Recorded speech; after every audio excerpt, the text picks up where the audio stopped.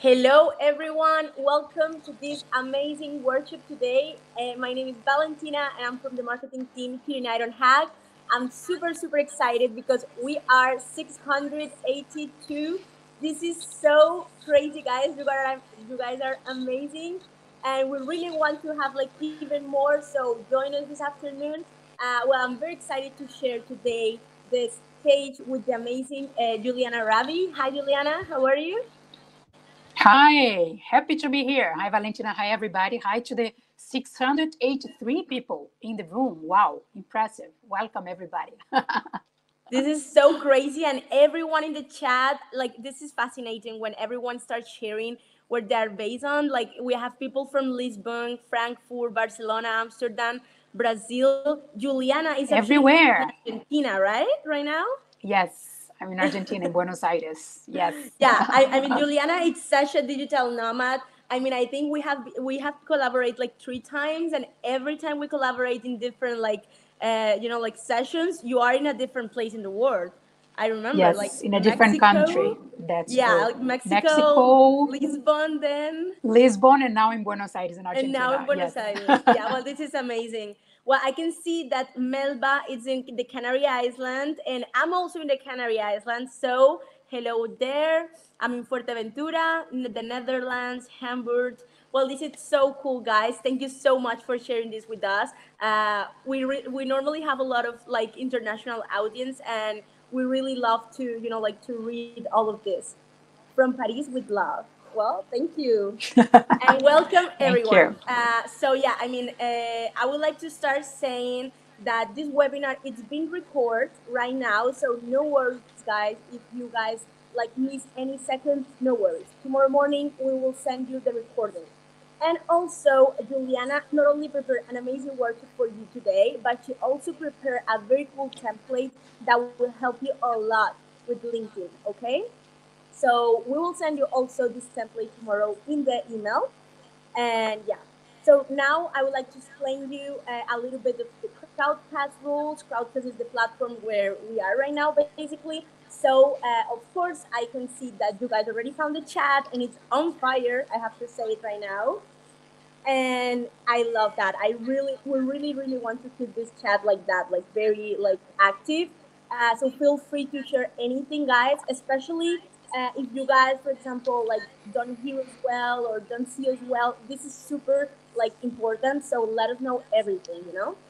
And yeah, we also have an ask a question session, and this part is like super important because I know you guys, you know, like have a lot of questions, and Juliana will do like uh, at ten minutes of Q and A at the end. So make sure to post your question in the ask a question session, and please, please, please don't put it in the chat because as you guys can see, the chat is on fire and the question will get like lost, literally. So please make sure to put there. And if someone else uh, asked already your, your same question, uh, you guys can vote for the question, you know, and then we can prioritize that question. Uh, we also have uh, this green button here below the screen. If you guys want to have more information, uh, more information about our boot camps on how to kickstart your career in tech, please feel free to click in here and have more information about our bootcamps. But anyway, uh, right now, uh, I would like to do like a very small intro about Ironhack. So I will share my screen one second, and I swear it will take just few minutes because I know you guys came to see Juliana. so this will take just a few minutes. Uh, let me know if you guys can see my screen. I think you guys do. Um, okay, so, uh, well, who are we? Basically, in Ironhack, we are a tech school, okay? We are disruptive. We what we want is what uh, we want to teach our students the in-demand tech skills of the future, but today, okay? Uh, how we are doing this? Well, we are doing this through boot camps. Uh, what are boot camps, Valentina? Basically, very intensive and immersive uh, education basically our let's say methodology it's all about learning by doing. So this is why it's so so so intense. These are basically three months where basically the our students give give us like their life literally. Um, we also have a methodology that it's outcome focused. Uh, we really want you to make we want to make sure that you guys are job ready uh, to build, you know, like innovative uh, products or you know, like launch your new career in tech. Uh, so yeah, I mean, so as I said, we're basically preparing the next generation of digital creators.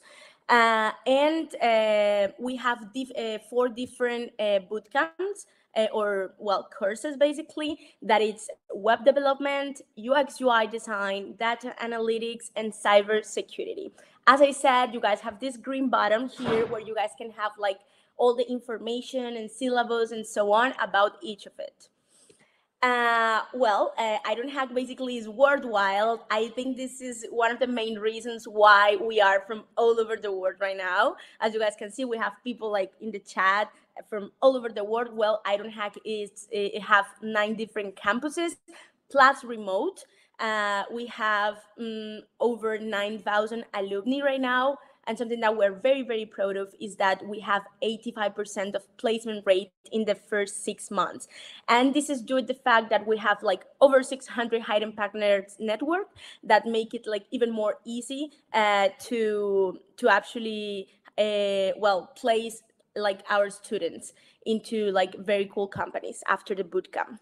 And uh, last but not least, uh, we have a very uh, global supported community uh, around the globe. And yeah, I mean, I think that's it. And now I would like to say, let's get started, Juliana.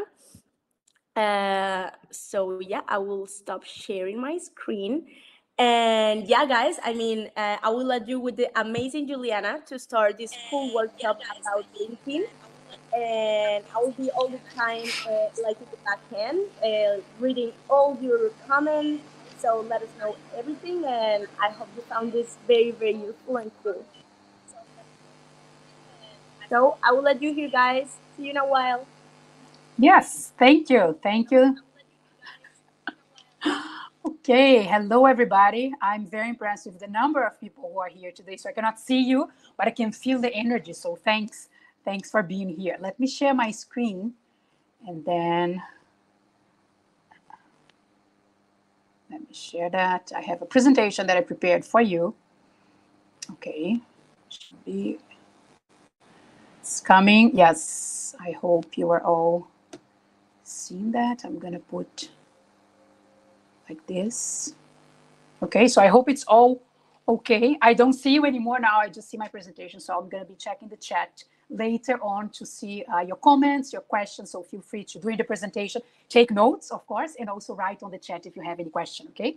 So today, we are here today to talk about LinkedIn and how LinkedIn can be used as a tool to land your dream job this is our topic for today, a hot topic, a very uh, necessary one nowadays. So let's go into it. I want to quickly introduce myself. So my name is Juliana Rabbi. I'm currently a career coach. So what I do is I help my clients to land jobs faster. So I'm on the candidate side and I use all my knowledge, all my background to help people to land their dream job.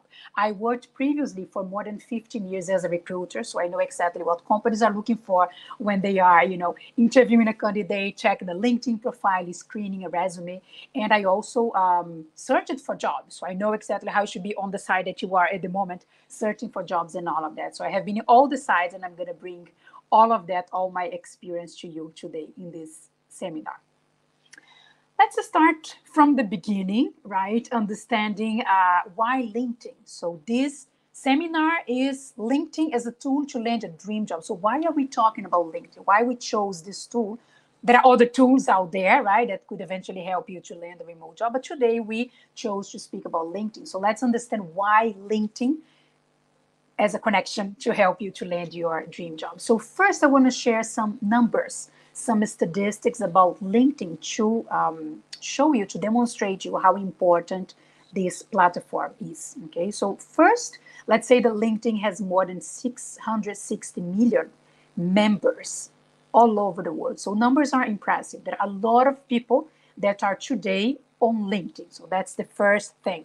People are there. The platform is used on daily basis also uh, big companies important companies in the market out there like the fortune 500 companies they are also on LinkedIn. So it's not only for small companies, not only for startup, it's also for them. But big companies, well known companies in the market, they also use LinkedIn. And when it comes to photo on the profile uh, of your LinkedIn profile, having a photo increase in 24 times the chances that people uh, actually see your profile, that they think that you're a real person, they want to connect with you, and 36 times more when you send message. So you must have a profile photo on your LinkedIn profile. For resume is a bit different depending on the country, right? On the resume or on the CV, you don't need to have or you shouldn't have actually a photo on your uh, on your resume, but on LinkedIn you must have a photo because it increases a lot your visibility there. Also, LinkedIn is very used nowadays by young people. So I don't know how old you are, but uh, people between 18 and 24 years they are also present on linkedin. So it's not something only for old people. Okay let's let's understand that. People with money are also on linkedin. So the average salary on linkedin is around uh, $46000 per year. Of course there are people who make more money and less money but i want you to understand that people who make money are on linkedin companies who can pay a higher salary to you they are also linkedin so there is a lot of money going around LinkedIn. And um, 9 millions of users on LinkedIn, they are in a senior level. They are, you know, top level positions in the companies they work for. And 63 million, they are in decision-making positions, which means that they are the ones who say, I want to hire you for this position. This is a good candidate. Let's hire this guy. Let's pay more salary so this guy can come work for us. So again, young people, old people, decision makers, uh, people with money to hire you, they are all on LinkedIn. So you don't want to be out of that, right? If you are searching for a job, right, and the, the future company that will hire you, the future recruit, the future hiring manager or the recruiter who is taking care of the recruitment process, if they search for your name on LinkedIn and they cannot find you, you know what's going to happen? You're going to look suspicious. It looks very awkward, very weird when a candidate is not present on LinkedIn because, as I just showed with the numbers, everybody's on LinkedIn. So, are you there? If you're not, me tell you, you're going to look very suspicious. But there is another side of the story also. Maybe you are on LinkedIn, you're part of those 660 million people who are already on LinkedIn, but your profile is not updated. You're not showing the right version online. You're not, you know, communicating the right message. You're not selling yourself in the best way as possible. So the result is that you're going to look terrible in the eyes of the recruiter or the hiring manager. So you're going to send a completely wrong message to them. So you don't want to look suspicious by not being on LinkedIn, but also you don't want to look terrible by being there with the wrong image on your profile, right? So all of that should bring you to this question like why why LinkedIn? Why is it important? Why should you use or at least consider using LinkedIn during your job search? So you don't need to stop using Instagram, Twitter, Facebook, the other social media. There is no need to compete here. You don't need to say, oh, I love LinkedIn. It's my favorite one ever. No, no, you don't need to choose LinkedIn as a favorite one. You just need to understand that it can be one more touch point, one more way that future companies will know about you.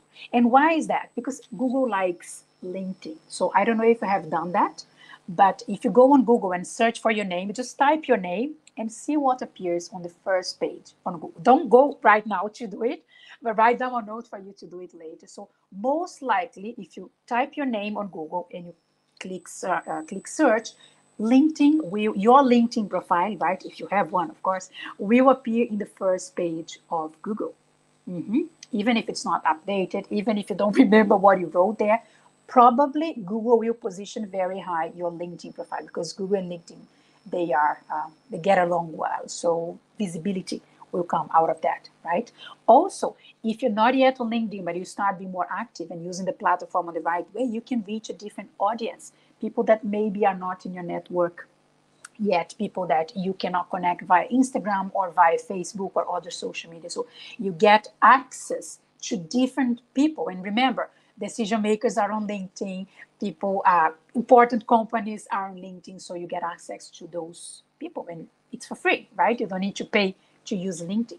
Also, if you don't know that, uh, please make a note and if you know it's just a reminder it's just a confirmation for you. That recruiters they do use linkedin every single day on a job search when they are searching for a not job search a candidate search. Sorry. So linkedin uh, recruiters do use linkedin as a tool to find candidates. So again if you're not there you won't be found by recruiters. So that's why you should consider using linkedin in your job search. There are so many reasons. I just summarized those three ones, but believe me, um, if you want to land your dream job, LinkedIn should be one of the tools, maybe the main one that you want to use in this process. And then you might be thinking, mm-hmm, who is this lady, right, to be here giving this seminar, talking about LinkedIn, the importance of LinkedIn, and all of that. So let me share a bit more about me and my journey with LinkedIn right? I have been using LinkedIn for many years in my career. I don't want to sound too old, but yes, for many years already. And the way I use LinkedIn changed according to the moment I was in my life. So at some point, I was a job seeker, just like you. I was also looking for a job, trying to land my uh, my dream job. And when I was a job seeker, I was using LinkedIn to search for jobs, like to find the right offers, and also to connect with companies and with people working in that company. So as a job seeker, as a candidate, I used LinkedIn uh, many times, many years in many different stages of my life. I also used LinkedIn as a recruiter because, um, as I mentioned in the initial introduction, introduction, I worked as a recruiter for more than 15 years. So during those years, I was working LinkedIn as one of the main tools, if not the main tool, to find candidates. So every day I was connecting my LinkedIn and searching for candidates, exchanging messages, sending invitations for interview, and all of that. So as a recruiter, LinkedIn was a tool I was using very often. And nowadays, I work as a career coach. I help candidates to land their dream job faster, and I teach my clients, just like I'm doing with you today, I teach them how to use LinkedIn to achieve their career goals, to get promoted, to get a better salary, to land a job in one specific company. So today I teach people how to use LinkedIn. So currently, I use LinkedIn as a way to increase my network. So I connect with so many amazing people in the platform. It's it's a great place to network, uh, especially if we cannot go to in-person events as we used to. So LinkedIn is a great way to network. I also learn a lot with LinkedIn. Yeah, I read articles. I keep updated about things related to my career. So it's a great source of learning. It's not a formal course, but I do learn every single day on LinkedIn with the things I, I read and share there. Also, it works as a, a lead generator for me. So I get new clients as a career coach through LinkedIn. So visibility and business money comes to me through LinkedIn also. And as I said, I provide training and consultants about LinkedIn. So what I want to show here is that you might be searching for different uh, goals, different things with LinkedIn, but LinkedIn was present in my career for many years. The way I was using the platform changed a bit depending on the moment I was, but I have been using LinkedIn and I have been um, benefiting from using LinkedIn for many years already. Some of the results I got for you to see that this is real it's not like a theoretical thing. So in my case, I got job offers. So companies, recruiters were sending me direct message and say, hey, can you check this job offer? I think you have a perfect profile. I want to interview you for that without me applying for jobs. That's the thing. I was also applying for jobs, but passively. Headhunters and recruiters, they were coming to me, finding my profile and approach me. That's amazing, right? Imagine that we are here watching this seminar and then you finish and you have a message on LinkedIn from a recruiter saying, hey, I found your profile. I want to interview. That's what was happening to me like several times. It can happen with you too. I found great job offers. I increased my visibility to the right audience, or to the companies I wanted to work for when I was uh, job search. I met people on LinkedIn, like on direct message, but also in real life. I met people like face to face that I started um, knowing them through LinkedIn um, several business connections, partnerships, as I said, learning about my area, invitation for events like this, for podcasts, for other presentations. And right now, I have my own company, my own business. So 70% of my clients, they come from LinkedIn. So results are impressive. Those are my results, but I just want to show you that this is real. This is happening. Okay. So in case you decide like, okay, that seems okay. Numbers are quite impressive. I want to give it a try.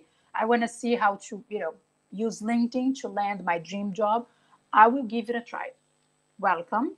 Great decision. So now you need to think, consider two aspects. Okay, if you decide to use LinkedIn more often in the right way, improve the way you use LinkedIn.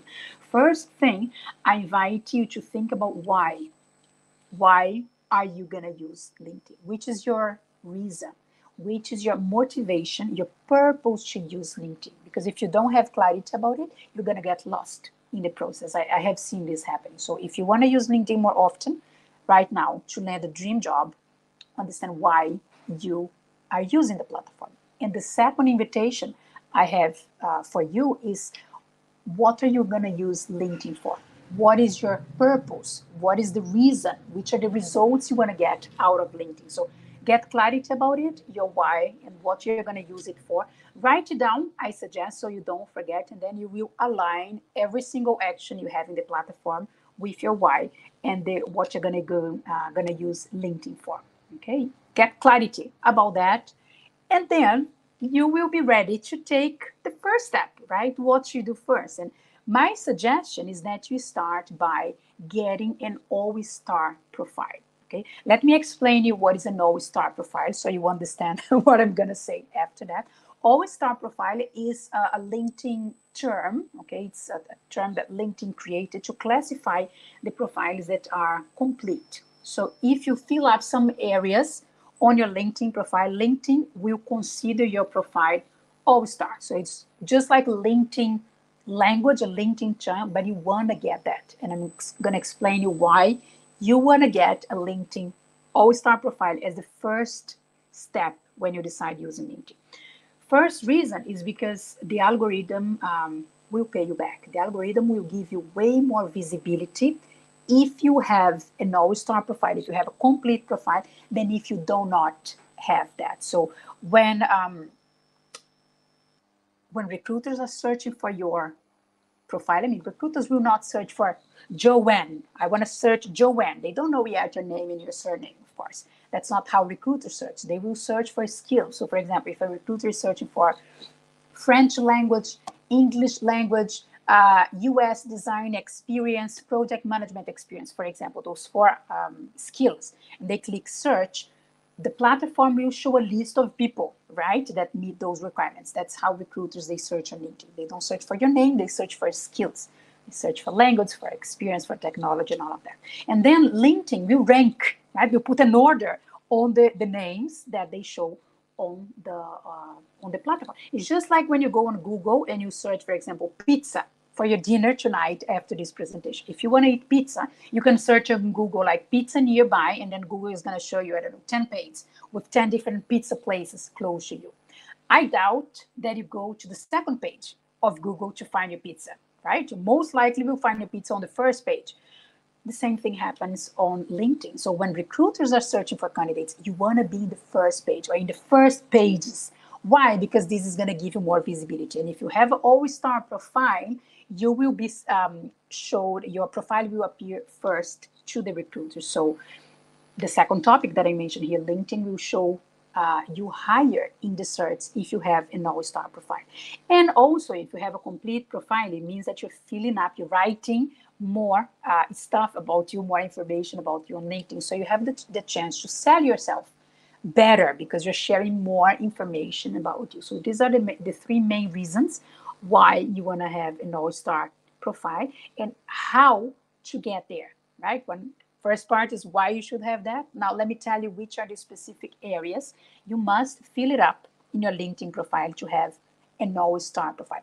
You might want to write down this so write those areas just to go back to your linkedin profile after the presentation and check if you have all those areas filled up. So the first thing you must fill it up in your profile to have an all-star profile is a headline. Headline is that line right under your name. Okay, you have the profile photo, you have your name, and under you have a line. That's the headline. So you need to fill it up something there to have an all-star profile. Second thing is your location. So you must select a city and a country. Even if you work remotely, even if you travel, you must select a location in a country profile photo is the round one, okay? That uh, there is one that appears on the back, but I'm talking about the round one with your face. About, this is a part that not all the profiles have. So if you don't have an about, a summary, you need to add that in your profile. Otherwise, it's never going to be all star. You must have a current work experience. Yeah, even if you're not working at the moment, even if you're only studying, you have to have uh, you need to have a current uh, work experience and also at least one education, one course that you have done. Those are the areas you must fill it up to have an all-star profile on LinkedIn. Okay. I want to share some tips to make your profile look amazing, to make you as a candidate stand out from others and be more attractive for companies to hire you. So let's see some tips that I will share with you today. And I want to start with the profile photo. It's extremely important. As I shared at the beginning, some data, right? Profiles with photos, they have 26 uh, times more visibility than profiles without photos. So please promise me that if you don't have a profile photo on LinkedIn, you're going to fix that today. Because profiles photo, uh, profile without photo on LinkedIn don't work out at all. So make sure you have one. And if you have review if your photo uh, is a recent one. Maybe you change your haircut, the color, uh, it's longer now, it was short, whatever. Just make sure you have a, a recent profile photo. Also, uh, you can do some little bit of production, make sure the lighting is good, maybe some makeup or a color that uh, stand out that make you look good. So produce yourself, not a photo that you take, you know, on the couch, relax. So it's a professional photo. It's a professional platform. So be careful and, and you know, choose one that makes you look good in your professional photo. You want to avoid what I call Zoom meeting surprises. So you, um, someone see you on, on your LinkedIn, right? See your profile photo, and then this person go on a Zoom call with you, and suddenly the person is like, "Wow!" Like maybe she won't say, but she's like, "You look completely different," and you're looking on the profile photo on LinkedIn. So we don't want that. So make sure it's a nice photo, good quality. You look like you, you know, you are right now. And also, you don't need to be extremely formal in the photo if you don't dress extremely formal normally. If your job, your uh, your area, your sector doesn't require that, no need to put like a suit or a very formal clothes. Just dress as you normally dress, but make sure you have a good profile photo because this is also selling you as a good candidate for the company. Another photo that we have in the profile is the background photo. It's like a, a rectangular thing that appears behind your profile photo, behind the, the round one. And if you don't have one, it's going to appear like a gray thing on your LinkedIn profile. So by default, when you create your LinkedIn profile, it appears on gray. You have the option to add a background photo, and this is the invitation I make to you because you replace the boring gray, as I like to call, uh, by something way more interesting. So go for it. Not everybody does it, but again, we're talking about ways to make you look good, you look amazing. So having a nice background photo is a way to make you look amazing. Also, try as much as possible to associate that image, that photo, with what you do with your area, with your services. So don't put just like a nice beach, for example, photo that you took on your holidays. That's an amazing photo for sure, but it's not related to your um, professional path, to what you do professionally. So be careful about the photo, be intentional about it, and select something that gives tips to people about what you do professionally. You can also add text. This is the example I have in my uh, background photo at the, at the moment. So you can write something you don't have to but you can play a bit with words also not only image. And come on be creative be innovative. Remember we are talking about ways to sell yourself as the best candidate for the company. So this is a nice way to use your creativity to make you look good to whoever find you on linkedin okay? Also let's talk about the headline. As i mentioned before the headline is that line that appears right under your name on your LinkedIn profile. So it's it's a part that has a lot of visibility, um, and we want to take care of that. So headline is that line right under your name. There are different ways that you can write a nice headline. I'm going to show two different structures, but there are way more uh, structures that you can use. But I just want to be very specific with two So you can start with those ones if you're a bit lost about what to write in your headline. Okay. So an easy structure, but very effective also, is that you use different keywords related to your area, keywords related to your profession, to your career, to the kind of job you want to do, and you separate them by, by those horizontal bars like this. So I shared some examples here. Um, career advice author, then you have the horizontal bar, founder at, and then you put your website, for example, and then former recruiter. This is one option. Another option, just for you to understand, of course, you're going to adjust to your profession, to your career, but just for you to visualize what I'm talking about. You use keywords or short expressions and then you separate them with this horizontal bar. Okay, this is very good to help you to appear on the recruiter search. So think also like if a recruiter is searching for uh, a professional that's going to do what I do, which kind of words, which kind of expressions the recruiter is going to search for. So you don't need to come up out of your mind with these uh, keywords. Just think like, what are recruiters looking for when they search for my profile? So if I have the skills, if I have that thing, I'm gonna highlight that in my headline. So you just put them separate with horizontal bars. That's an easy structure, very effective. I want to present you a second option in case you want to go some steps ahead, you want to complicate a little bit. You can um, put your job title, for example. Uh, in this case, I share the social media manager. Then you use the horizontal bar also.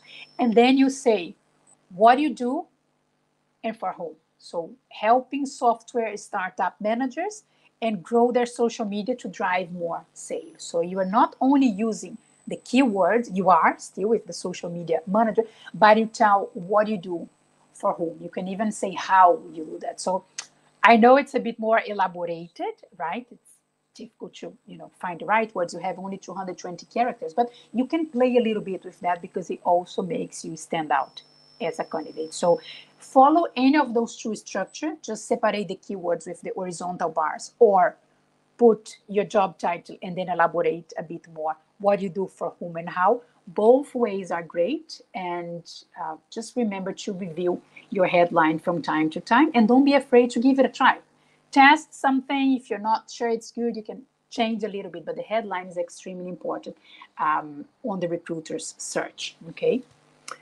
Then we go back to uh, the about part of your profile. I mentioned before that uh, it doesn't appear by default when you create a LinkedIn profile. So maybe you not even have that. So don't don't feel like, oh my goodness, I'm doing something wrong. No, if you don't have it, you just need to go to a button that says add new session and then you select about. Okay.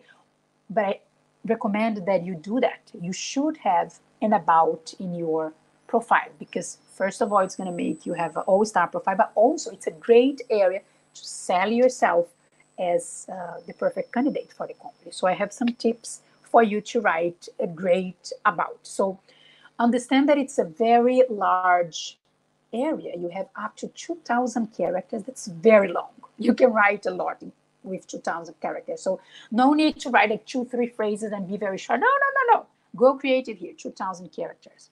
Um, the first three lines that you write are the most important ones. Why? Because they will appear and then there will be a button on the right side saying see more. And then people need to click on see more to see to unfold the rest of your about. So if the three lines are not attractive, people probably won't click in the see more button. So make sure you hook, you use something attractive, interesting in the first three lines of your about. So people are curious and they will click in the see more to keep reading the rest of your profile.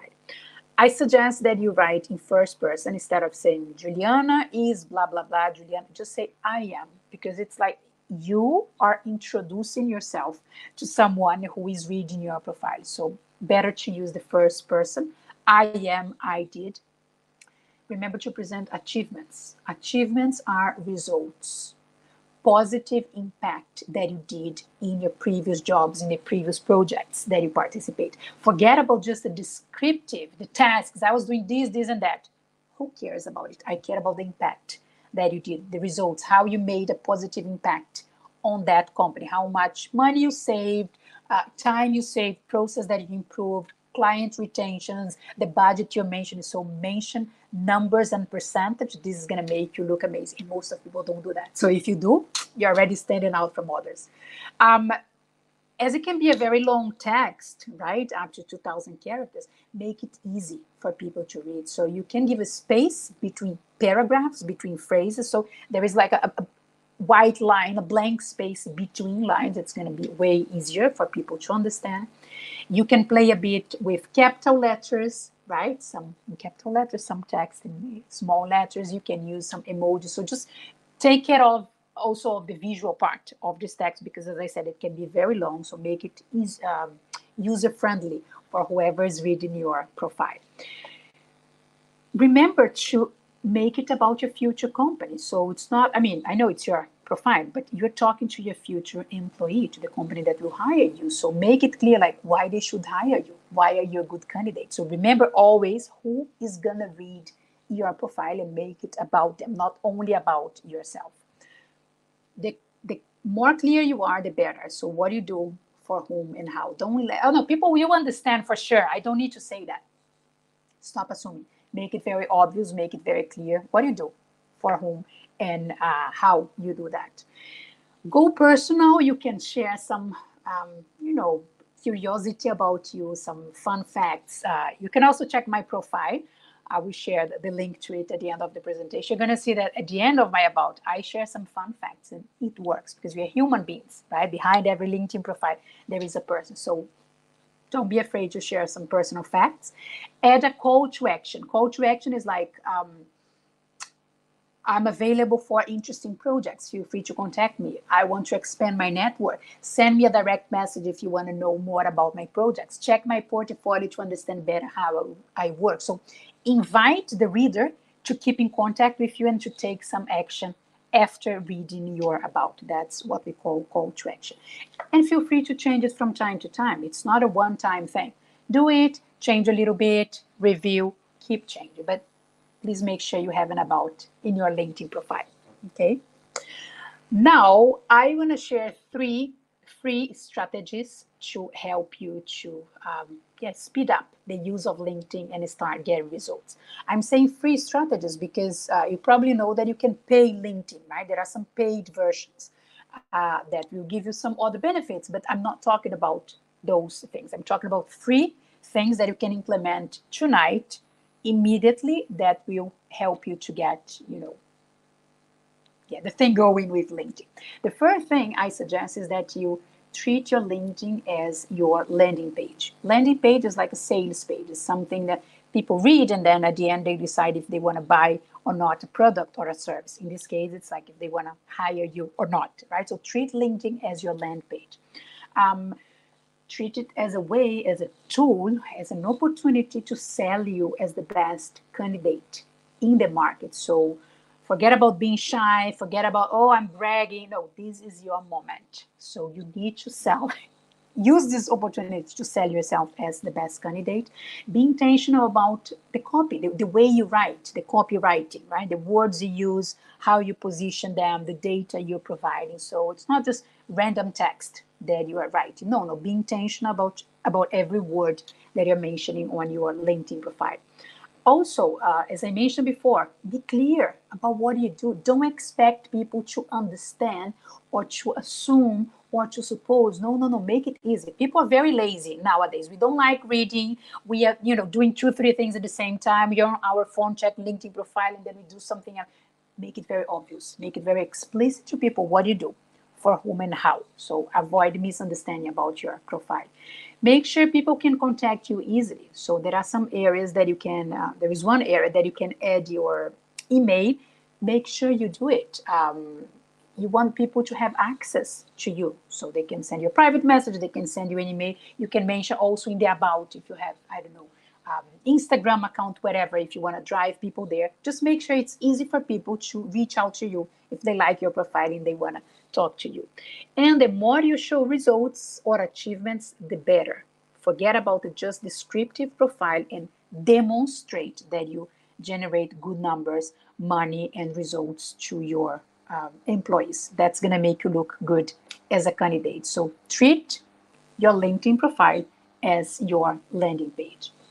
The second tip I have for you, if you decide to use LinkedIn, is that you engage with other people's content. You interact with other content on LinkedIn. So notice that we are moving from having an all-star profile, right? That was the first topic I I, I touched. You, you must have an all-star profile. Take care of that. Once you have it, we are moving to interacting you know with other people so it's not about you anymore it's about the way you interact with other people on linkedin why should you do that? Why should you use the platform in a way of interacting with people? Because when you engage with someone else's content it's just easier than creating your own content right? You don't need to come up with the idea. The content is there you choose it and then you write something about it. So it's easier believe me it's easier than creating the content from scratch. Also you become visible to people that are outside of your network. So if I comment in your post, okay, um, everybody in your network will be notified. Juliana comment this post. So I don't know who you are connected with, but if I engage with your content, with your post, with your video, with your article, whatever thing you have on LinkedIn, everybody in your network, all your connections on LinkedIn will be notified. Juliana click like Juliana uh, wrote a comment. So you get visibility to people that you not even know who they are, right? Everybody who is in your uh, the person's uh, network, the persons that you interact.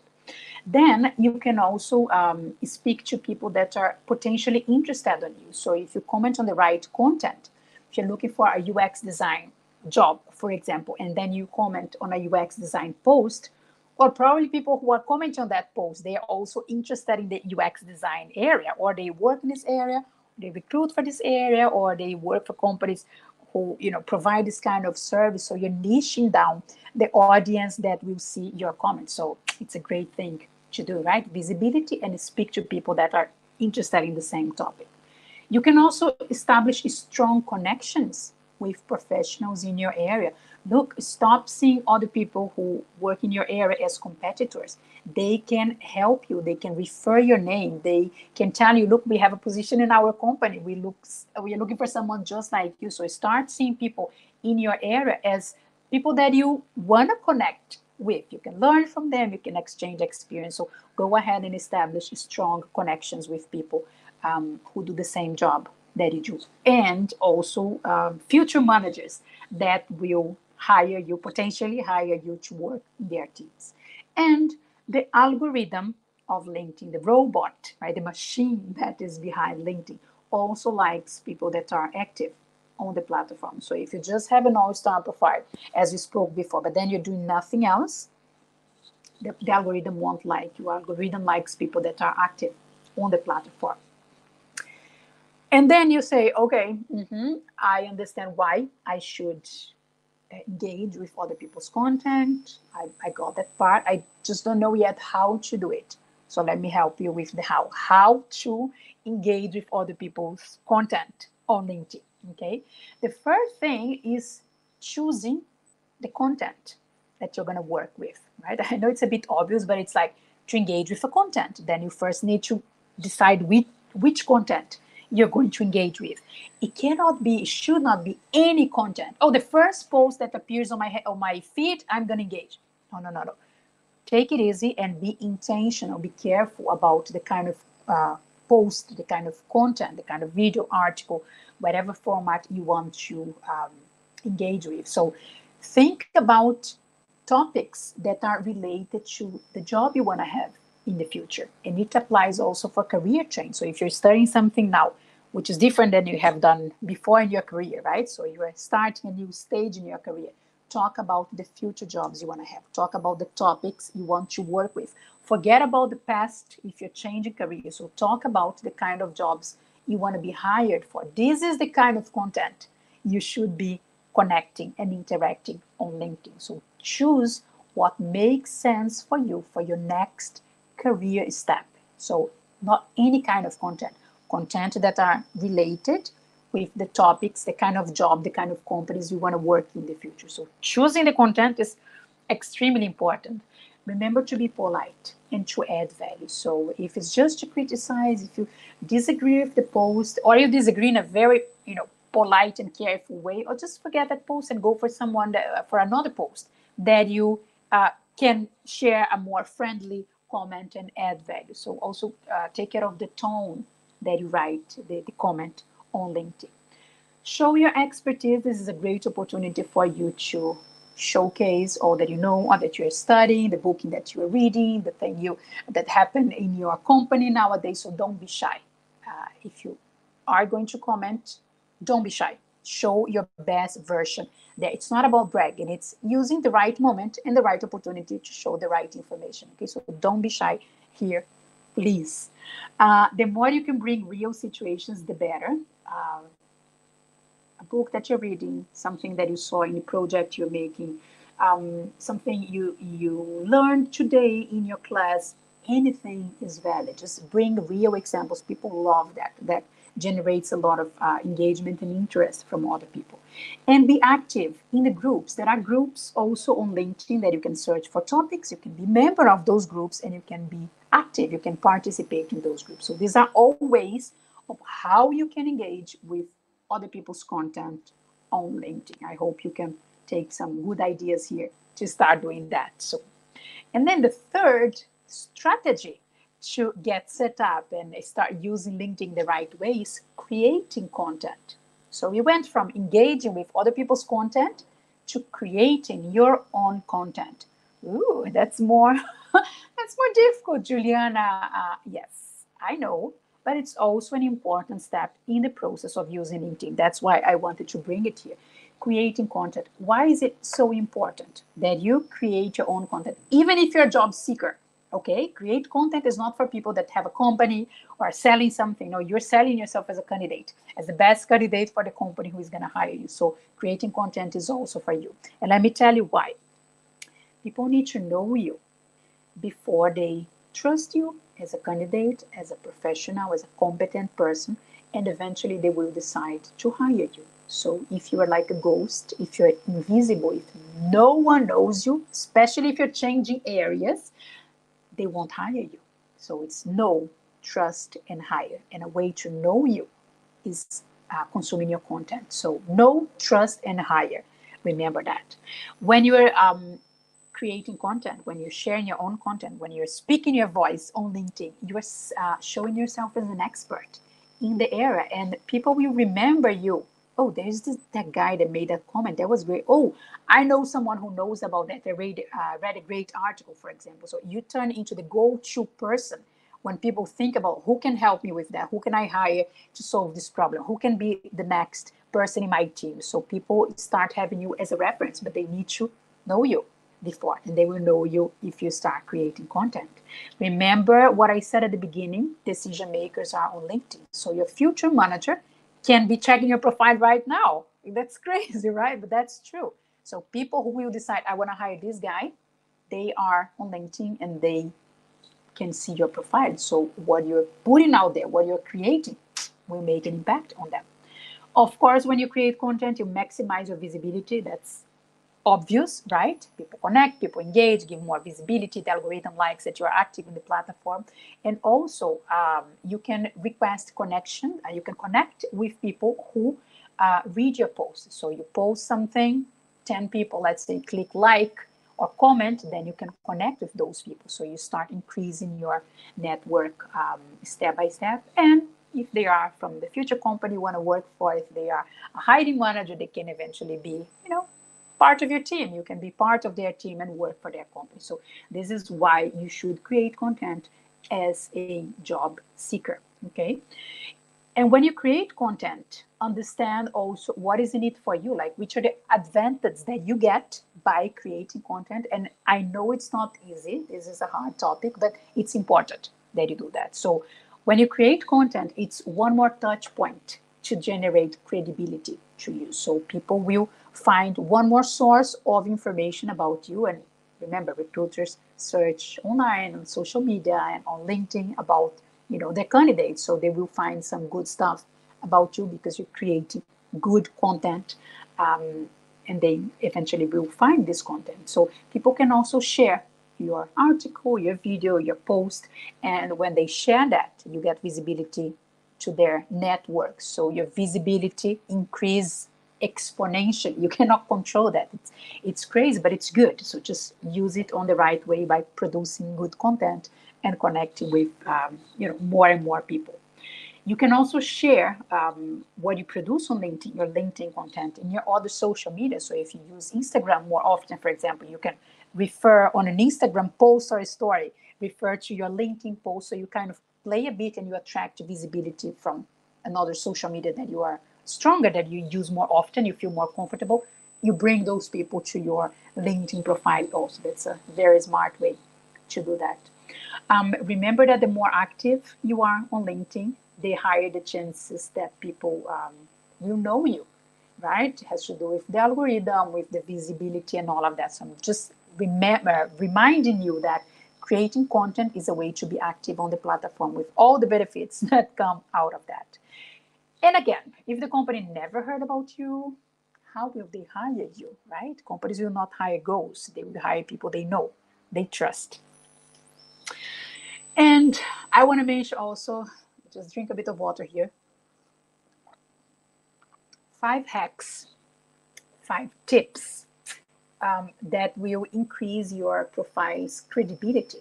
We spoke about having um, a complete profile, like right, an all-star profile, engage with other people's content, create your own content. So people will start coming and checking your profile, recruiters, hiring manager, and all of that. So we want you to get credibility. We want people to look at your profile and say, okay, this is a good professional. I like this person. I want to talk to you.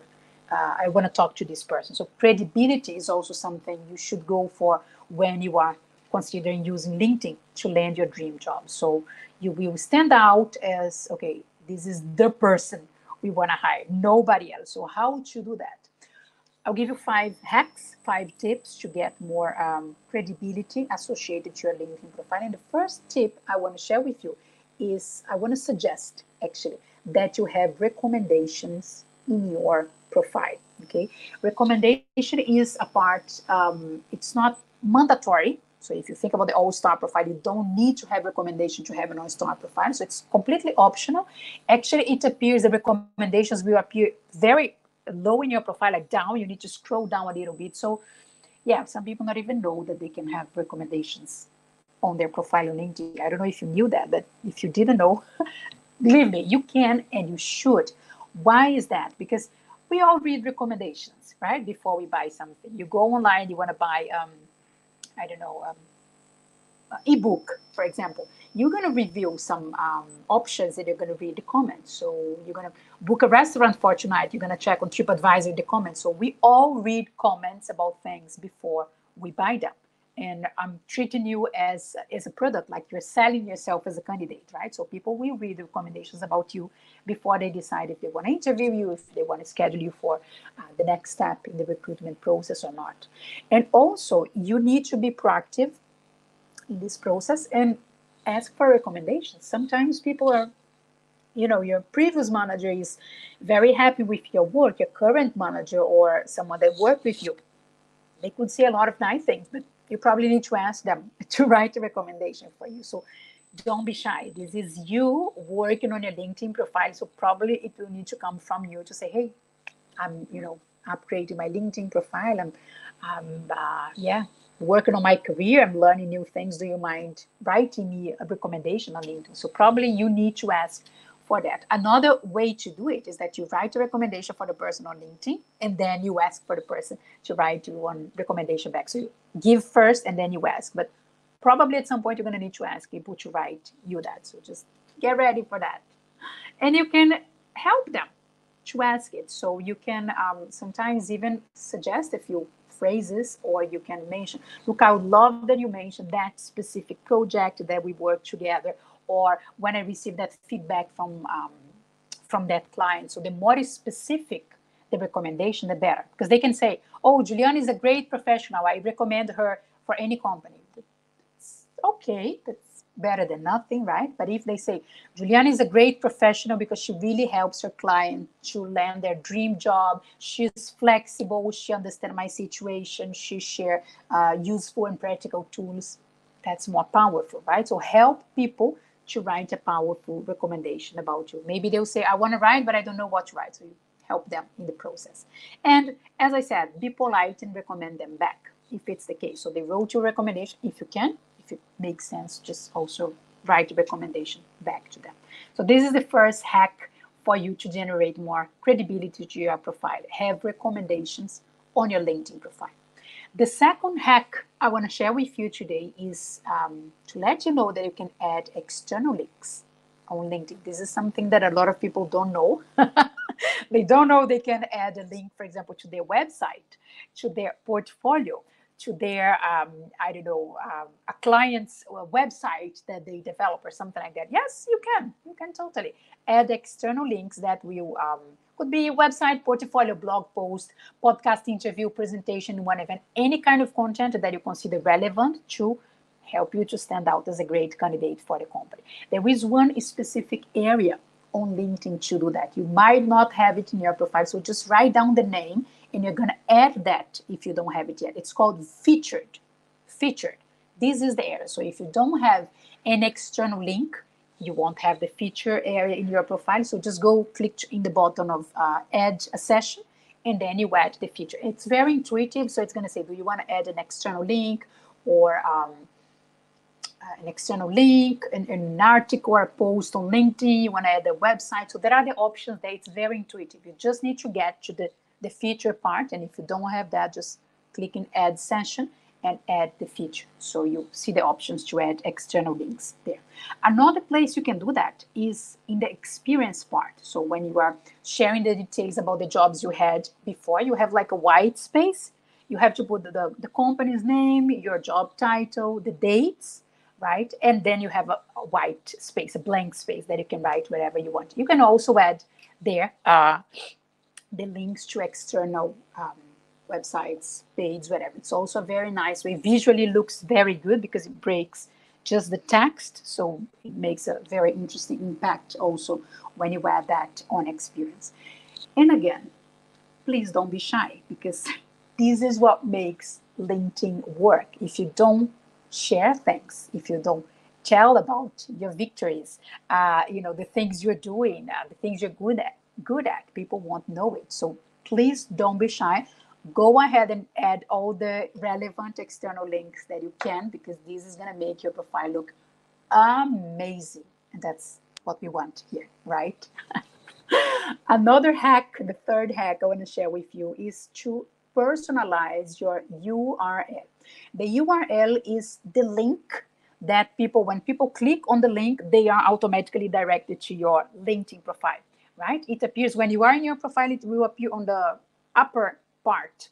Um, yeah, it's the, the link to your profile. So why should you personalize that? Because it makes it easier for people to find you, to remember you, right? Um, some URL, some links look way better than others. I'm going to share some example. And also think about the SEO, okay, to, to make it more searchable, to help your profile to appear on Google search. The more you use the right words or you put your name clear out there, the more your profile will appear also for the SEO search. So let me share some bad examples for you to understand what a bad URL looks like, and then some good examples. So this first one, um, Andrea Zors, those numbers here, they come by default on LinkedIn. So the, the platform generates those numbers automatically. So if you don't change, that's how it's gonna appear. That's why I'm saying that it's so important because you might not even know which is your URL at the moment, right? It's like I never thought about it. I know, I know this kind of trick, but that's why I'm bringing this as the third hack for you.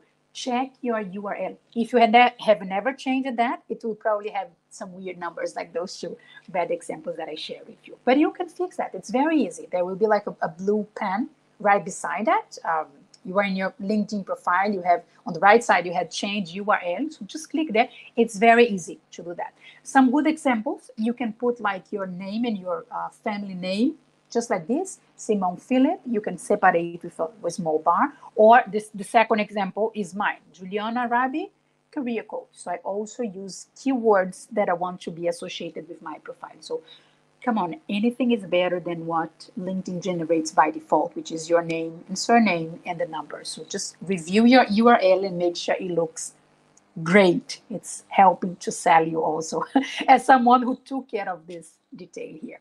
Okay. Hack number four to generate credibility on your LinkedIn profile, on the way you use the platform. Please make sure you answer private messages. Okay. Um, there is a private message. I don't know if you know about it, but you can chat with people one on one. Only that person will see the message. So it's it's different than what you, you post on your feed.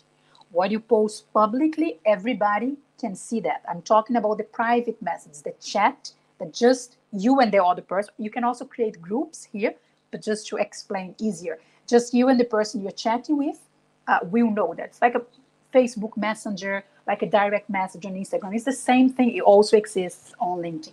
And sometimes recruiters or hiring managers or people who want to connect with you, they will send you private message. So why do I recommend that you answer the private message? The first reason is um, the first point is that even if you're not interested to a job, uh, a position that a recruiter is offering you, I recommend that still you answer this message because if you don't reply, if you ignore the, the recruiter, ignore the hiring manager, ignore um, hiring manager, sorry, ignore the message from the hiring manager, it will cause a bad uh, bad impression about you. It's like you're ignoring the person. And remember, LinkedIn is about relationship. It's a network platform. So even if you say no thanks, I'm not interested, it's not aligned with my next career step, make sure you take 30 seconds and you reply to that person.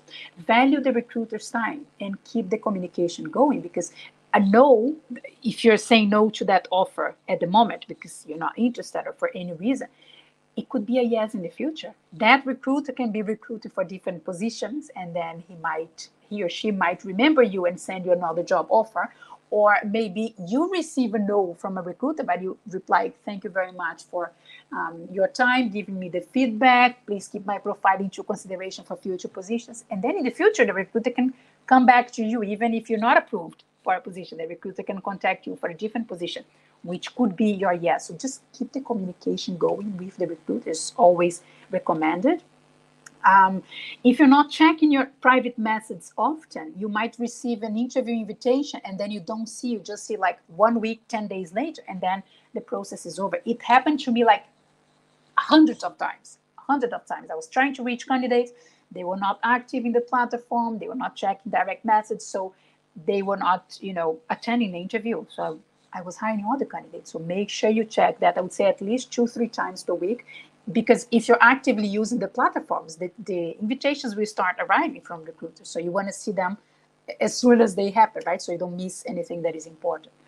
Back to the algorithm, the robot that is behind the platform. I mean, sorry to repeat that, but every social media works in a similar way. They have a robot, they have a system that will give more visibility to some people or to others. So if you reply to the private methods, the algorithm will like it, will give you more visibility when recruiters search for a profile similar to yours. So again, the algorithm uh, will help you if you're answering the private messages. And the way that the, uh, the inbox of the private message on LinkedIn is configured, it's a bit confusing in my opinion. So it's like if you receive new messages, the old ones they go down so you can't easily see them. So just you know, you can filter by unread messages and all of that. Play a bit with the filters to make sure you don't get anything lost because it's easy to get lost. But you don't wanna lose any message, uh, any private message because it might be something important for you out there. So you don't want to lose it, right? So my first hack is that you please answer uh, and check often your private messages on LinkedIn. And the fifth hack is that you personalize your connection request. The connection request is when you send a connection request, right? You want to connect, you want to be friends, let's say, with someone on LinkedIn. So you have basically two options. When you click in connect, uh, it will pop up one window will say do you want to send a personalized message? Yes or no. You can choose no. So if you choose no automatic message is like something like hi juliana want to connect with you. Something like that. The automatic message that comes by default. I suggest that you do not do that. I suggest that you click in connect and then the window will pop up and will say do you want to uh, send a personalized message? You click yes. It means that you will need to write something to that person, right? So it means that you're going to need to take time to uh, know who is that what are you going to write to the person. I don't know anything about that person. Well so you need to know something about the person. You're going to need to uh, spend some time a few minutes at least taking a look at the person's profile so you know who you are talking with right? You know who you are writing to. So take a look at the person's profile. You can check a very um, very nice thing to do is that you you check activities activities is one part of the the linkedin profile that you can see everything that the person did on the platform. Every like she clicked, everything she posted, every interaction she did. So be careful with what you do on the platform because people can see that. That's an open part of your profile. So you go to the person you want to connect with and you check his or her activities. So see which kind of content the person is interacts. Take some information to get to know a little bit about that person. And then think how you can personalize the message to that person based on the profile and the things you saw on her activity. What should you avoid? Generic and empty and blah blah blah things like hi looks like we have a lot of things in common a lot of people write that but that's not effective because it feels like you just copy and paste like a robot, you know, or a robot. I'm sure you, you have received some kind of connection request that felt like a robot. I receive that every single day. It feels like, mm, I, why should I accept that, right? So we don't want that. I want you to generate credibility with your profile. So when you personalize the connection request message, you won't look like a robot. You're going to look like a real person who wrote something for me specifically, and I will like that way better. So I created the three magic steps. it's a fun way to say that, but three easy steps for you to follow every time you're writing um, personalized connection request to someone on LinkedIn. So you probably want to write down that also, and then you can just check your notes every time you send a connection request to anyone. Uh, you follow the three steps here. The first step is very basic but extremely important. You want to call the person by the name. Okay, so I'm Juliana. I'm not Julia. I'm not Julie. I'm not Juliana with double N. So also attention to the spelling. The name is something very important to the person. So even if it's a weird name for you, the person is used to that. So make sure you say hi or hello and you write the person's name. That's going to create a positive impact since the beginning in your personalized message. This is the first tip. The second tip, the second uh, step you should follow is pay a compliment, say something good about the person. When you're checking the person's profile, as I mentioned before, when you're checking their activities, see which kind of person is that. Maybe you can refer to an article that the person wrote, a podcast interview that the person was interviewed, a post that she did, or uh, if she studied in a university that you admire, or if she's from the same city that you are, or if she's studying something um, right now, you can always refer to it in a positive tone always. So check the person's profile, get some information, and then you pay a compliment, be friendly, say something good to the person. And then the third step is just ask to connect with the person. When you're sending a connection request, is not not not the time to say, "Hey, I'm looking for a job. Can you connect me with the hiring manager? Is there any position available in your company? I would love to work for you." No, no, no, no, no. Stop that. Just ask to connect Later on, when the person accepts your connection request and all of that, you can engage into a conversation and go deeper into other things. But right now, you just want the person to accept your connection request. So name, pay a compliment, just ask to connect. I have an example here to make this more real. For example, hi Juliana. I found your profile very interesting, and it was great to see how you moved from an engineer position to a manager in such a short time with this company. I am already following your organization and I would appreciate connecting with leaders in the industry. Have a great day. Regards. That's one example. I put the number of characters 298 because you have up to 300 characters. So you need to be careful. It's kind of limited time, uh, uh, space, but you see, you can write a lot. So test it out, name, pay a compliment, and just ask to connect. This has been working a lot for me. So I'm sharing my magic formula with you. Make sure you start implementing that also. Okay. Ooh, there was a lot, right? That I need also more water here. I want to hear from you. I spoke a lot already. Before we move to the questions, I just want to share this QR code here. So if you have your phone, just you know, position it and you're going to be linked automatically to my LinkedIn profile. I would love to connect with the 700. I don't even know how many people are connected anymore. I would love to receive a lot of LinkedIn connection requests. If you personalize the messaging, even better, right? As I just told you how to do it. But don't be shy. Let's connect on LinkedIn. Let's keep the conversation going. This is a very limited time that we have. So I would love to keep talking through LinkedIn. So just scan this code, please send me a connection request on LinkedIn. Also mention I was in the seminar about LinkedIn as a tool to land your dream job. Uh, so it's easier for me to, you know, who know who you are. So make sure we connect on LinkedIn. It will be my pleasure to keep this conversation going there on LinkedIn. Okay. And now, yes, question and answer time. I think I'm gonna stop sharing this. So let me see how to do it. So I can see, I can see the chat. I, Valentina, where do I stop sharing?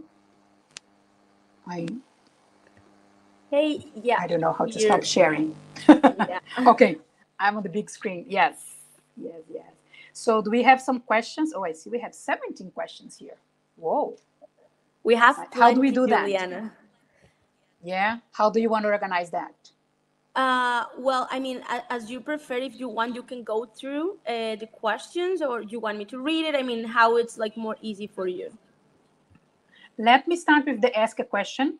I will check people who wrote right on the chat the ask a question. So let me start with that. I think it's a nice way, and then we see if we have a few minutes for other questions. So let me see. Any tip? I'm reading here, okay, from the from the chat. Any tip on how to write the about session as a student with little work experience? Um, nice question. Because um, sometimes we feel like if I don't have a lot of experience, I have nothing to say in the about, right? So remember, the about is um, related to your career journey. So you can say about positive results, positive impact you made in previous job. You can say about the things you are studying at the moment, the courses you are doing at the moment, uh, even books that you're reading. So make sure you talk about positive things in your past, but also show what you're doing to get experience in your area. So make sure you highlight courses and uh, books related to the future area so that will add more credibility to your profile, even if you don't have a lot of work experience. Uh, Jorge asked, is the practice of putting in your headline the companies you worked before as ex Google, ex um, ex IBM, all of that a good practice, or is this just an outburst of ego? There is a lot of discussion about it. Okay, some people are like, yeah, if you put an ex Google um, on your headline, right, on that line, right under your name, it calls attention because Google is a powerful company. But some people also can think, okay, if you're not working in Google anymore, maybe you did something bad there. That's why you're not in the company anymore. So this is kind of a trend at the moment. Some people use it. Um, I think you are more than the companies you work for. That's my personal approach. So I stand more for mentioning skills and things you can do. It doesn't matter if you work for Google or for Juanita or for any company, but it's it's kind of fashion at the moment. A lot of people are doing that. So yeah, up to you. I, I prefer to stick to skills because that's something that is mine, not related to the company I am at the moment. Another question What should we have in the headline if we are students in our final year? Okay, think always about the future. Okay, so if you want to land a job in that area, you're going to put that area. Forget about what you have done before if it's not related to the area you want to study. So put the job title you want to have in the future, even if you're still studying. Oh, Juliana, but I'm lying, right? Because I still don't have experience. No, you're not lying. You're showing in a clear way to the recruiters and hiring managers the kind of job they should contact you for. So, for anyone, students in the final year, people with uh, uh, small experience, people changing jobs, it doesn't matter. The headline speaks about the future, about the kind of job you want to be contacted for. So, make it very obvious for the recruiter. Another question How do you grow your network through LinkedIn? So far, I've only connected with people I know in real life. Bam, wrong. And I'm unsure how to reach out to new people. Look, if you That's a great question. Eh? If you only connect with people you know in real life, your network will be very limited. Especially now that we're talking about, you know, working remotely, so a company from a completely different country can hire you, uh, collaborate with projects in other countries. So forget about only people you know in real life. This is not Facebook. On Facebook, it might make sense. Oh, it's weird to connect with someone I don't know. On LinkedIn, no. It's a social network platform. People do connect with people they don't know. How will they hire you? Remember, no trust, and hire. If they don't know you, they won't trust you. They won't hire you. So forget about only people that you know in real life. Uh, choose people that are doing the same job you want to do in the future. So people who are in the same level that you want to work for, want to work. Um, if you want to be a UX designer, make sure you connect with UX designers. Make sure you connect with hiring managers that will be your future managers. Keep people in your industry. So just interact with their content. Start with the engaging with content. Connect with their content. Get visibility through adding value, relevant content. So they will see Juliana comment my post, Juliana comment, and they will read what you comment and will say, oh, nice. She knows what she's talking about interesting this perspective. So they are way more open to connect with you and personalize the connection request with my three magic steps to increase the chance that people accept your connection request. But forget about i only connect with people i know in real life. That's completely wrong for linkedin okay? Another comment another question here. I got luck in the results from our student research project got published in a professional journal. Very good and I wonder how to best communicate it on LinkedIn, not only in a post, but also list on my profile or so. Yes, uh, you can post about the, the project that was posted in this um, professional journal, feature, add the, the, the part feature and add a link to it. You can write an article about it also. And in your current um, where you're studying in your school, make sure also in the student in the education part make sure you also mention there. So there are at least four places you can mention about it. There is a second part of the question. Also, there is there is a possibility to use a cover picture on LinkedIn. And I always wonder what is considered appropriate to put on there. The cover picture, I'm assuming you're talking about the background photo, the one I mentioned, the, the rectangular one, the, the boring gray, right, that comes by default, the one that appears behind your um, profile photo. So I already spoke about it, but yes, you should have a background photo and try to associate that as much as possible with what you do, what you want to do in the future if you're changing careers, if you're studying for a new um, job, a new profession. So visually, you also send a clear image of what you do. So you have your job title explaining that, but you also have the visual impact of the background photo. Okay.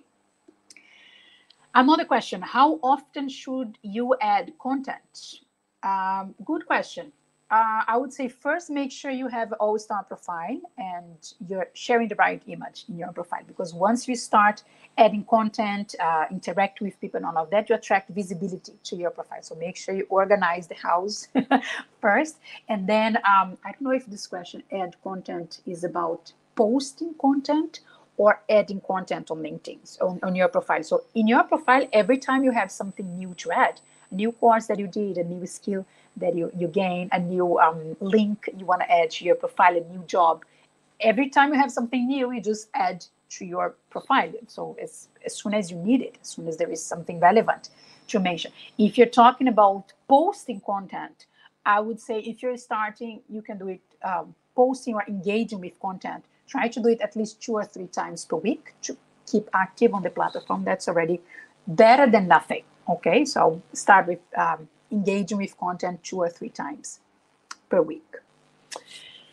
Another question. Hello, I'm a new student here in Germany for master's studying research in computer and systems engineering. I have experience as a web developer, okay, mention a lot of language here. I would like to land a part-time job like work student. If it's possible to explain how to make the best use of LinkedIn for this purpose. You can use LinkedIn for any purpose. Land a part-time job, land a full-time job, change areas, get promoted, be seen as an expert in your area. So everything that I shared in the full presentation is also applicable to you, okay? Let me say one thing LinkedIn is not only for people looking for a full time job in a certain companies that are well known. It's for any purpose. Remember what I said at the very beginning get clarity about your why. Why are you using LinkedIn?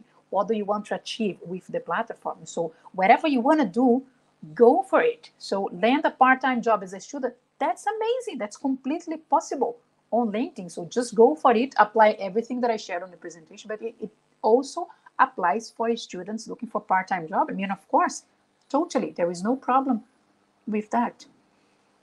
Another question what is your advice to someone with a humanity background, English, liberal arts, etc., in a prior career who is now learning to code and wants to signal that they are looking for opportunities in a new field? I already answered that, but thanks for asking again. Mention in your headline the future area, coding, um, the language you you're learning now. So talk about the future. Forget about the humanity background if you don't want to work with that anymore make sure you highlight that skills uh, the skills you have the new ones the ones you're learning in your about in your studies in your experience if you're already working in the area so talk about the future the kind of jobs related to uh, code and forget about the, the humanity not forget you're going to mention in the previous job you're going to mention in your study but you're going to put more emphasis and use more space on your linkedin profile to talk about the coding and the future job you want to have okay Another question Is LinkedIn also effective for social professions, for example, clinical psychologist?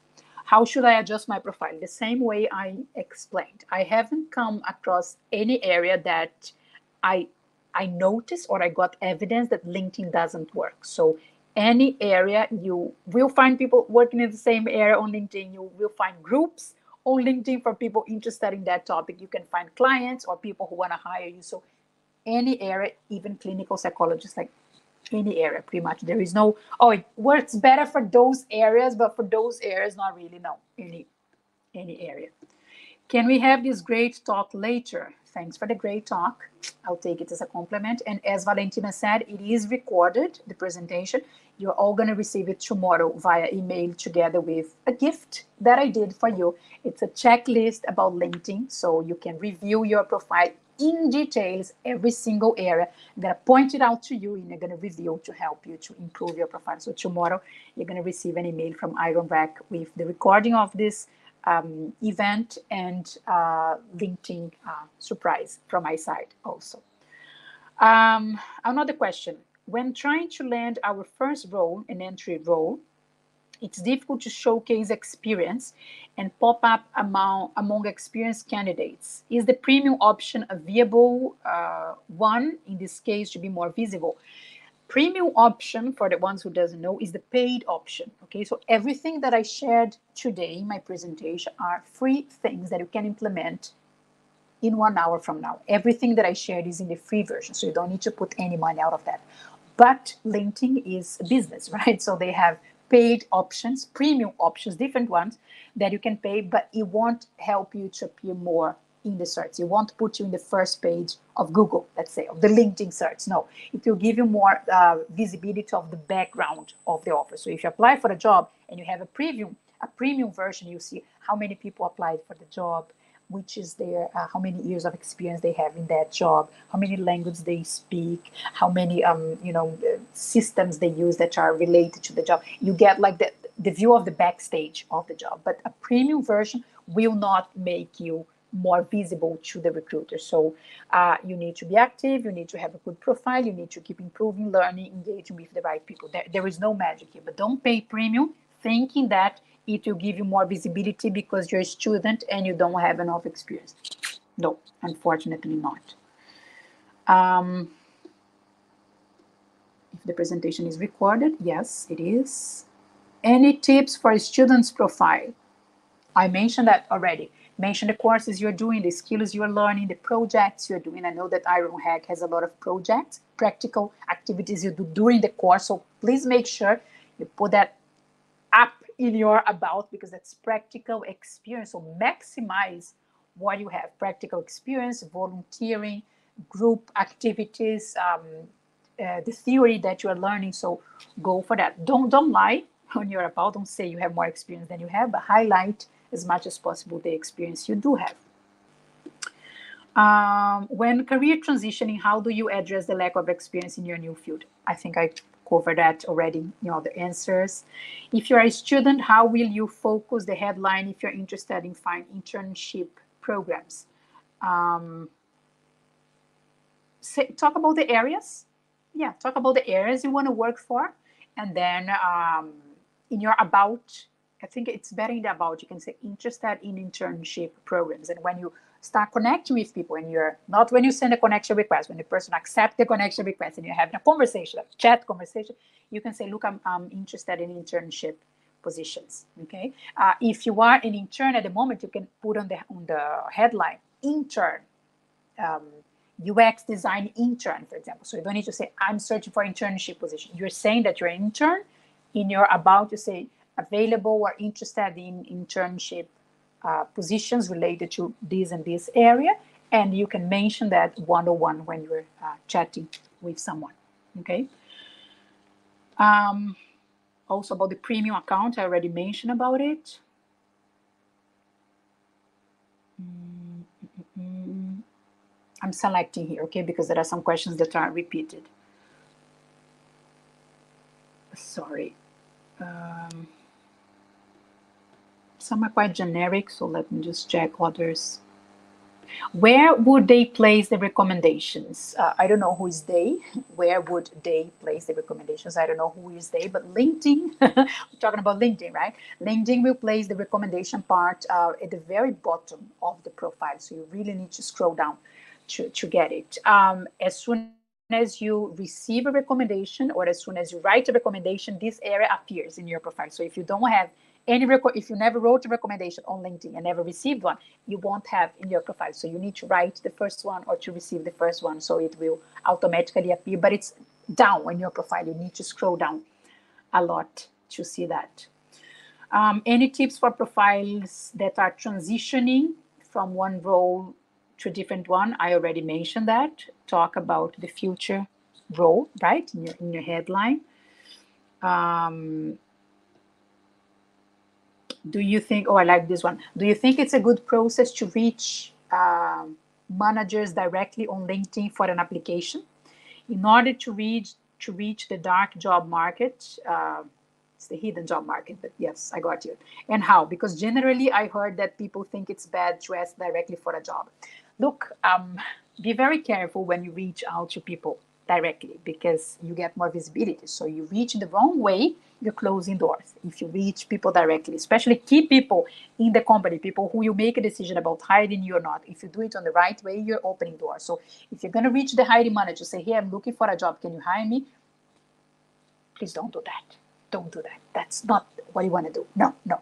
You can reach the hiring manager to start a conversation, to create a relationship, to show your potential to exchange ideas, to talk about the area, not to ask for a job. So if you're going to reach a hiring manager to ask for a job, don't. Don't do that. You're closing doors completely. Um, where should I start looking for a remote job in UK? On LinkedIn. Yes, LinkedIn has a place to search for jobs. So you just put UX um, which was the, oh no, he, he, didn't say the job title. So let's say UX design, and then instead of in the location, instead of putting, you can put UK or you can put remote. So if you're looking for a remote job, try remote. So you can search for jobs on LinkedIn, and if they are remote jobs, still you just put instead of a specific location, just put remote, and then once you find the jobs, you see the ones that are in the UK. Um, how to announce this is going to be the last one okay? How to announce to linkedin when one is ready to start working. Let me see if i understood that. How to announce to linkedin when one is ready to start working. Um, there is that option that you can um, put the, the green frame around your profile photo say open to work. That's a way to do that to, to show that you are available to work I personally don't like that because, in my opinion, it shows desperation. So I will not hire you as a candidate just because you're available. I'm going to hire you because you're good, because you're qualified, because I see that you can add value to my company. So, two completely different things. But this is one way you can add the open to work framework, the, the green thing around your profile photo. Um, you can mention in your about, I'm available to uh, join new projects, new companies and you can tell that to people when you are engaging into one-on-one conversation. So please don't post on your feed hi i'm available to work. This is my curriculum if you know something. This will only show desperation. So there are ways better ways to do that. And i think we're going to finish now. So apologies if i couldn't answer all the questions. Uh, i couldn't check the chat so i was checking only the ask a question. We had third question 30 30 30 30 questions. So yeah that's it. So, Valentina, back to you. are you there? Hi. Yeah, sure. You are well, there. I think it's kind of crazy. we have ton and ton and ton of questions at the end. Uh, we were 733. Yeah. I mean, this is so crazy, guys. Thank you so much for being here with us. Thank you, Juliana, to you for, you know, like hosting and leading this amazing workshop for all the, you know, like all, uh, well, the templates that you share with us, this session, like everything, your amazing energy always. And yeah, I mean, I think that's it. And as I said, guys, uh, tomorrow you guys will receive the uh, well the recording plus uh, Juliana's template. And uh, thank you so much. I really hope you had an amazing day, afternoon, night. Uh, you know, like I know you guys are all over the world, so just have a very nice day. thank yes. you guys, and thank you, Juliana. Bye. See you in the next session. You're welcome. Feel free to connect with me on LinkedIn. Let's keep talking there. Okay. I'm sure you will receive many connections, Juliana. Maybe 733. Sure. Let's see. Let's see. Oh, I, I don't think so, eh? Bye, let's guys. See, let's see. Okay. Thank you, everybody. Take care.